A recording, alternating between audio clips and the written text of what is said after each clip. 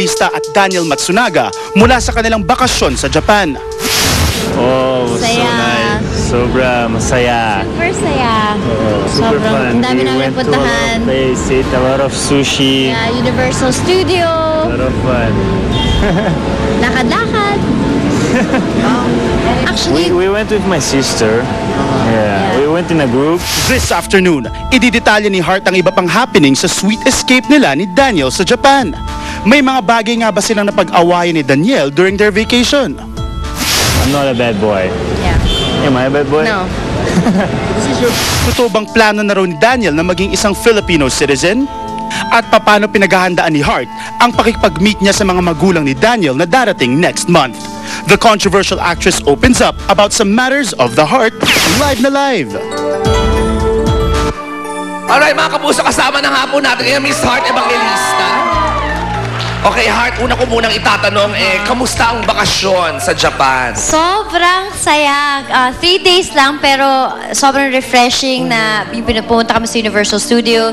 Kasama namin yung mga kaibigan namin. You know, para kaming, well, parang normal lang ang buhay namin. Lalakad-lakad lang kami. Sino ang nagyaya kanino or plano nyo talagang dalawa to? Plano talaga ni Daniel to with his sister and their friends. Sinama and then ka nila? sinama nila ako. And um, yung schedule ko naman, okay. So, nakapunta ako. Tama-tama, before my soap starts, makakabakasyon ako. So, yun, saya. At balita ko, ito daw ah, bakasyon to, eh, gumawa ka pa daw ng MTV. Ikaw ba mismo nag-edit? Yes, ako ang nag-edit. Sino nag-shoot? Si Daniel? Take turns kami ni Daniel, tapos tinulungan kami ng friend namin, si June, tsaka si Vanessa, yung Wow. kapatid niya. So, you know, tinulungan Pa-play nga kami. natin, directly na natin at ah, Okay. para makita natin yung kanilang ex, a three days ah, na bakasyon.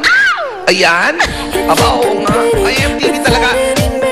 Eto, nagpapalitan kayo ng kuha. Oo, Yeah. bakit nagka- ano yun? Bakit nagpapa-girl siya? What's Wala, that? binibihisan lang namin siya ng pag-girl. Kasi sobrang cowboy niya eh. Sobrang he's up for anything. He's fun. So, O, ayan. ano yun? Parang kinasal na kayo. And then, mukha lang. Mukha lang. It's a mix Saan of- yun? Bakit nakakot? Kasi yung, yung ballpen niya nagtae dun sa, sa plane. It's my fault. Siguro yung pressure or something. Tapos kumalat yung ballpen niya, ganyan. Like, sweet moments lang. What we like to do, bowling, Aba, may ganyan. sirkero pala itong si Daniel, Oh, yan. Yung, when we arrived in Japan, ganyan. O, anyway, nakakita kami ng, ah, ng video doon. So, ano ba talaga? Nagkaroon ba talaga ng, may nagganap pang proposal? No Heart sa Japan? proposal. No Wala. So, proposal, bakasyon but- lang talaga. Bakasyon lang. And, you know, I I don't like lying. So, you know, it's it's just really good. Sobrang saya talaga ng nangyayari sa amin. Dalawa, napaka-blessed namin. At Kasi, saka alam ko naman na hindi ka magsisinungaling Ah, sa akin lalo. Hindi ko kaya magsinungaling. So, Oh, napaka-honest na tao nito ni Heart. Pero ito ha, ang mga fans mo, like si Joyce Parkin, sabi niya, sana nga engaged na sila dahil bagay na bagay sila. Ayan. Thank yun, you. Sa mga ano yung mga Facebook ah, fans natin dito. Eto na. Kayo sa... Heart. God! Next week, darating ang mga parents naman ni Daniel, uh, next month, dito sa Pilipinas. So, anong ginagawa mong paghahanda? Nag, nag-aaral ka daw ng basic Portuguese. Totoo ba yan? Yes, konting-konti lang. Tituruan niya ako ng mga, ng mga language nila, ganyan, like, todo beng, yan, esto muy, ah, eu esto, feliz agora, like, I'm happy na, mga ganon. Pero nakausap mo na sila sa phone. Yes, on Skype. I Ah, sa met them. Skype. They're very nice. Sobrang bait. Para lahat sila pa mga angels. Super bait. Alam mo, naloloka ako sa video, nakikita ko ngayon dito sa ating Ako rin monitor. nadidistract ako kaya Parang ano, lang. Sorry. actually, hindi ata proposal yan. Parang honeymoon na yata ang naganap. hindi ba, Heart? Ah! See, you didn't see it! Parang kula na lang, langgami na talaga kayo, no? Actually, kahit sa kami, nakakatuwa kasi nung nasa Japan kami, nakapila kami sa roller coaster. Okay. May mga teenager na mga Hapon na pinipicturean kaming dalawa. So, Dahil? hindi ko alam, siguro nakikilig din sila. So, nakakatawa kami, bakit kami pinipicturean? Pinipicturean kami. So, at least nakakahawa naman ang kilignes. Wait, aray, natatapakan mo yung hair Kinikilig ko. Naka- I'm so happy for you. Yes, thank you so much. Ouch, madaming langgam. Alam mo na. Thanks. Yung hair mo hindi lang mahaba, kulot pa. Yes, kulot. Yeah, that's Oo. right. Ay, pero in fairness, jackpot din naman si Daniel sa'yo, no? Yes, So, kaming dalawa, we're very blessed to have each other. mm, so at least na klaro yan. Ito pa mga nagko-comments naman sa Facebook, isa si Ray Dejan. Ayan, good luck daw sa iyong love life, bagay kay ni ni Daniel. Sana kay na till the end. Ayan. Don't look! Ayun na, oh.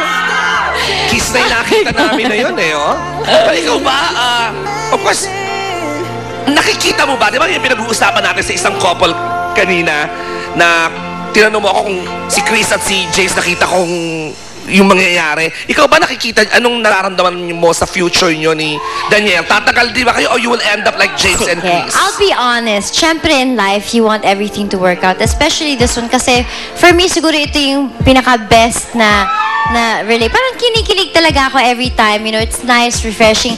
Pinapray ko na sana may, maganda yung mapuntahan. But of course, you know, never, uh, nothing is certain in life. So, ini-enjoy na lang, ini-enjoy ko na lang yung moment. And you know, if, if, if it doesn't last, you know, I mean, at least I got to experience something so wonderful. Tama. Pero sana, sana naman na. Sana lahat naman tayo, di ba, yung uh, Oo, we always relasyon want- natin, yung yes, happy ka, oo. sana tumagal, di Oo, ba? pero whatever it is, you know, at least I got to feel this way. And, you know, that's living your life, is loving. So, yun. Grabe, yan ang gusto ko sa'yo yung mga ganyan So mong sagot much. eh. Thank you so much. Sabi ni James Bacaldo, kung saan man ah, man isabak si Hart, talagang magaling siya. Yun nga pala, what's, malapit ka na daw makita ulit sa primetime, sabi ni Mon. Yes, that's Kailan ba ito? right. Ang story ka na ba? conference namin Okay. is bukas for Dwarfina. Um, madami mga ibang characters and uh, I think first time na magtatambal ni Den Studio sa TV. Tsaka I think si, uh, may iba pang mga uh, ka-love team ako na darating dun sa show na yon And um, yun, mag-start na kami mag-taping. I'm not sure, baka next next week na ang start namin. So exciting. Directed by Mike Tuviera. So yun, sana abangan po niyo. Wow, bongga yan, pag-direct mic. Well, good luck. I'm Thank so you. happy for you Thank that you're you. happy. You look pretty, blooming. Thank you so much. Grabe naman tong si Hart. Thank oo. you, Lord. Tama. Tama. Oh, ako naman, ang wish ko na sana tumagal kay ni uh, Daniel at you live happily ever after. Thank you. Parang itong si Jessica Rodriguez at si David Bonivash na natagpuan ang isa't isa at eto ka na ha, isinelebrate nila ang sampung taong pagsasama nila. Imagine 10 Wow, years 10 with years. kids and all.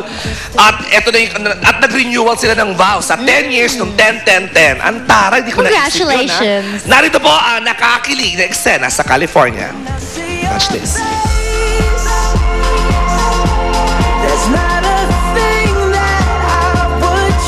The worst thing that ever happened to us turned out to be the best thing that could ever happen to any married couple. It is amazing how we could still be this much in love even after 10 years of being together. Naging emosyonal ang mag-asawang sina Jessica Rodriguez at David Bonevax nang muli nilang iproklama ang kanilang pagmamahalan para sa isa't isa sa isang renewal ceremony sa Los Angeles, California. I, Jessica, We take the we take the David to be my wedded husband. to be my wedded husband,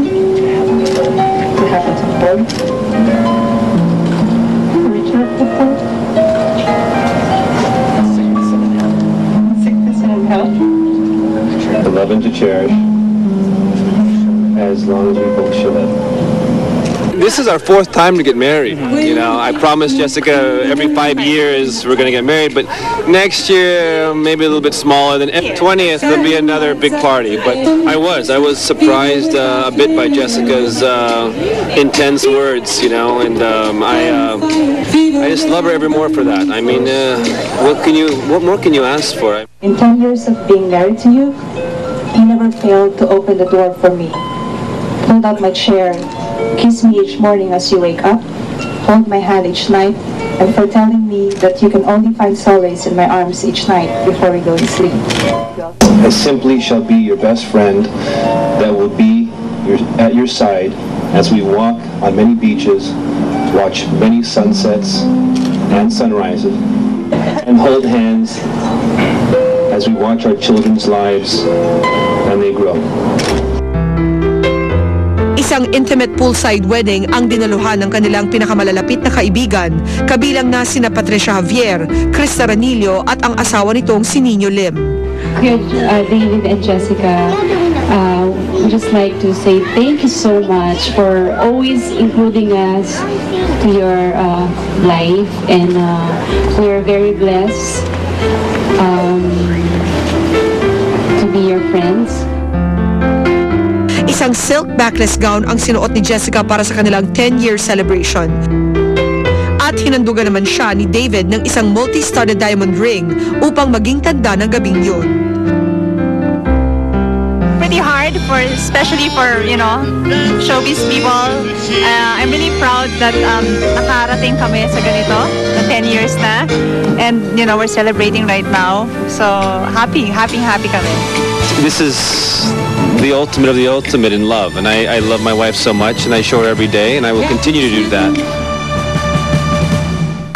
Nang unang sumabog ang kasong rape laban sa dating aktor at politiko na ngayong si Patrick De La Rosa.